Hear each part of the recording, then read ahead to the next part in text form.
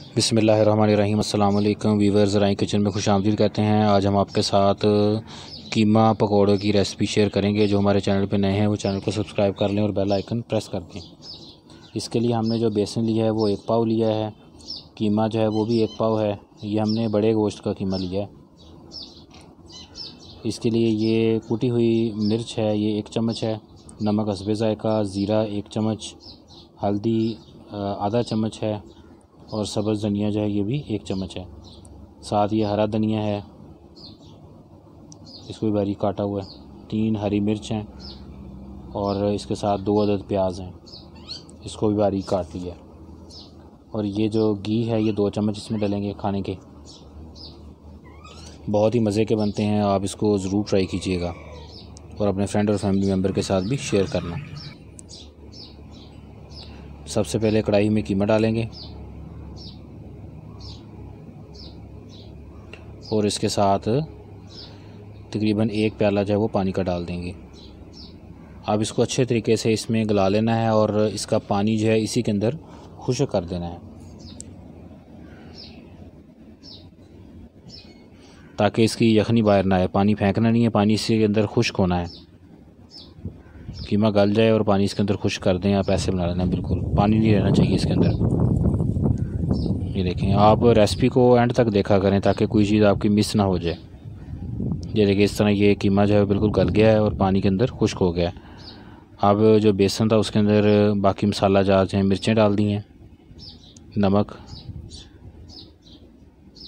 और ज़ीरा, साबुत धनिया, सुरख मिर्च और हल्दी। और इसके साथ ही कटी हुई प्याज।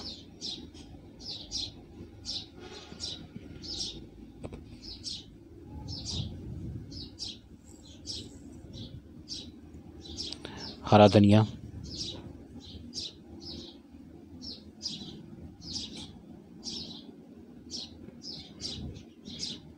और जो आपको घी बताया था, दो खाने के चम्मच। अब इन चीज़ों को अच्छे तरीके से मिक्स कर लेना है।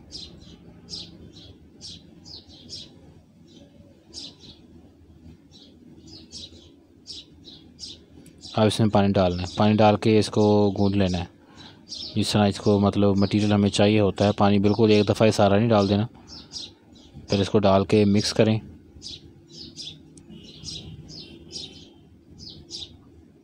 देखें, इस तरह की इसकी शक्ल होनी चाहिए। इसके बाद आप इसमें कीमा जो रखा हुआ था बॉयल करके वो डाल देना है। और इसको अच्छे तरीके से मिक्स कर लेना है।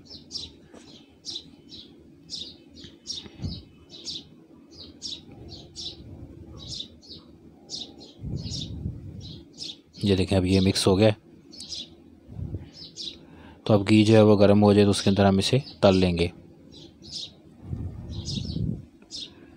तो इसके जो पकौड़े हैं वो एक दफ़ा इसको तलेंगे, तलने के बाद इसको निकाल के इसको दो हिस्सों में काट लेंगे। उसके बाद इसको दोबारा फ्राई करेंगे ताकि ये अंदर तक क्रिस्पी हो जाए। ये देखें, पहले इसको इस तरह तल लेना है। जब इसका कलर चेंज हो जाएगा तो इसको निकाल लेंगे। और उसके बाद फिर इसको काटेंगे थोड़ा ठंडा करके। ये देखें। अब ये निकाल लिए। हल्के से ठंडे हो जाएँ तो फिर इसके बाद इसको दरमियान में से काट लेना है। छुरी से इसको दरमियान में दो हिस्से कर लें। ये देखें, ये मैं आपको करके दिखा रहा हूँ। ऐसे इसको दो हिस्सों में काट लेना है।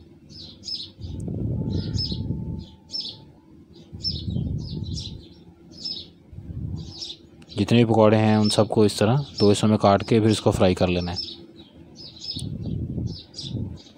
इससे ये होगा कि पकौड़े जो हैं वो अंदर तक क्रिस्पी पानी इसके अंदर चला जाएगा और कच्चा नहीं रहेगा बिल्कुल भी। आप इसको कलर चेंज होने तक इसको पका लेना है।